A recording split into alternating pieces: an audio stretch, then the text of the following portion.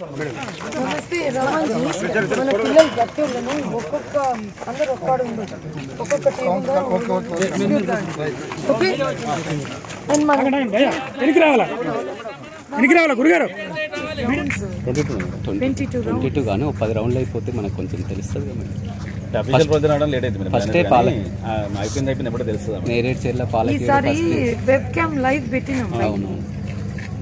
పోయిసారి పోయిసారి మీ కోదాడ దెబ్బకు అంతా సెట్ అయి చేసి నేను పిహెచ్డి చేసిన ఫస్ట్ టైం ఇన్నేళ్ళు చేసినా కానీ ఇప్పుడు పట్టించుకోలేదు సిస్టమ్స్ కరెక్ట్గా ఉంటుంది